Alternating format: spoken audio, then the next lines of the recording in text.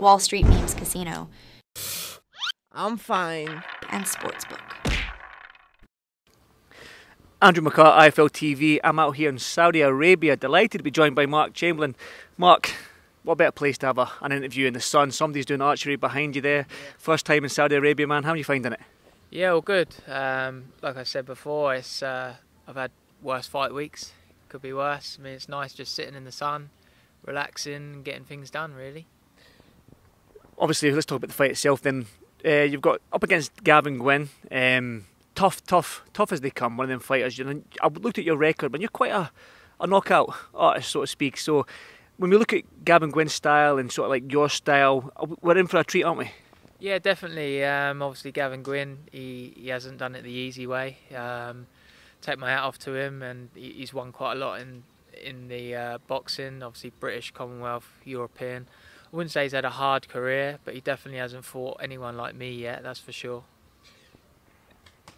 I was for the EBU title. We spoke a little bit off camera here about the title that was on the line. Uh, I think a couple of weeks ago, the EBU title, which was held by Gavin, was on the line, but obviously now it's not. You mentioned there it was a WBA International, which is good. It gets you up in them them rankings, which is obviously the ultimate goal for you is sort of like the world title or world title shot at some stage in your career. So happy with that? The WB on the line? W- Yeah, I'll be honest with you. When I got the call, I was just grateful to fight in Saudi Arabia. Do you know what I mean? I would have fought King Kong. I don't care what it was for. I just like to be out here and new experience. Um, but yeah, the aim is keep winning, keep climbing the rankings.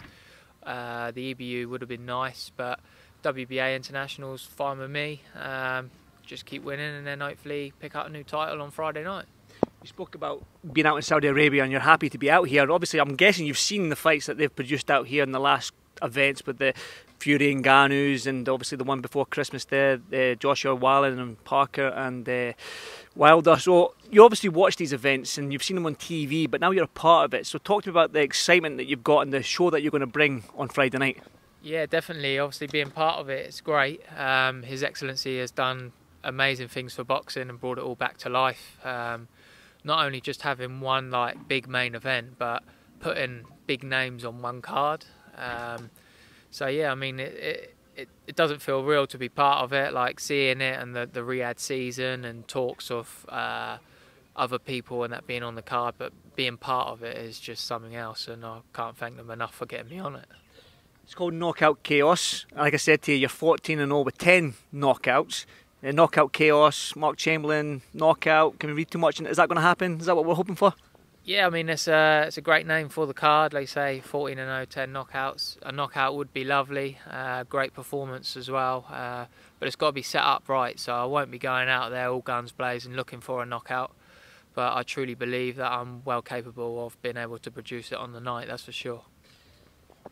Obviously, you're on a, probably the biggest card that you've been on in your in your career with the likes of Zhilei Zhang and Parker and, Ngannou and, and Joshua. So it'd be remiss of me not to get your thoughts in it, not just as a fighter but as a boxing fan. When you look at two giant men, you've probably seen them passing about here in Joshua and Ngannou. You've sized them up yourself. They're, they're, they're units.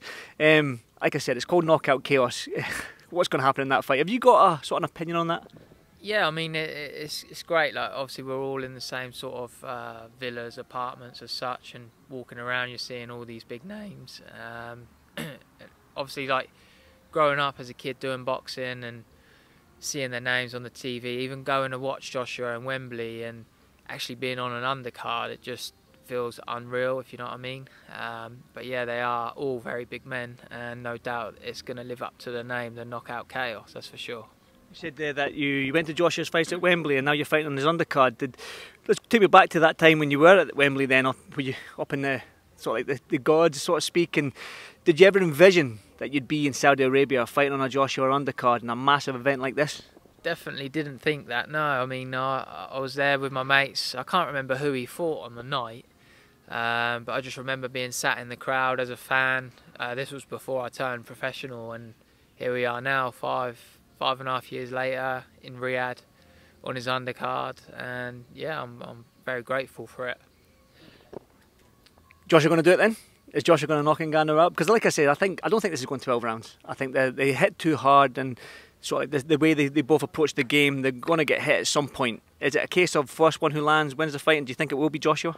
Yeah, I mean, Ngannou's incap- he's capable because obviously we've seen what he could do against Fury. Do you know what I mean? I, I don't think Fury put a dent in him. Obviously, people were umming and ahhing who'd won the fight. I mean, a, a, draw wouldn't have been a bad shout, but the man was at his debut against like the lineal world heavyweight champion, and he held his own, I guess. Uh, but I think my prediction will be Joshua with a stoppage. I don't know if he'll knock him out, um, but I think he'll get to him. Yeah. Back to you then. Obviously, Gavin Gwynne. I've known Gavin quite a long time. Um, I've been to loads of his fights. I've seen how he approaches the game. He's got that Mexican style. He, he called himself the Merthyr Tydfil Mexican or something along them lines. So he's going to bring it. He's going to come forward. He's going to be on your chest this whole whole fight. Are you happy with that? Are you excited about that? And is that what you want from Gavin Gwynne? Yeah, definitely. I want the the best Gavin Gwynne to turn up because I've trained hard for it. I'm well prepared.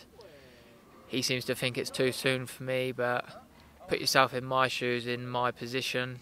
No doubt he would have wanted this fight when vice versa, if you know what I mean, if he was in my shoes. So yeah, I want want to test myself, and I'm up for a challenge. So yeah, bring what you got. If you win, would you come back? I will be winning, and I will be coming back. Listen, Mark, absolute pleasure to speak to you, my man, and uh, no doubt we'll see you tonight at the uh, Fighters Arrival. I think it's Fighters Welcome, Fighters Arrival yeah. tonight. I'll see you there. Yeah, Grand Arrival. So I'll see you there, and uh, listen, enjoy the, the sunshine, do a little bit of ping pong, a little bit of archery yeah. behind you, and uh, until then, I'll see you on the next one. Thank you. Cheers, mate. Cheers, mate. Thanks, Mark. Thank you. Wall Street Memes Casino. I'm fine. And Sportsbook.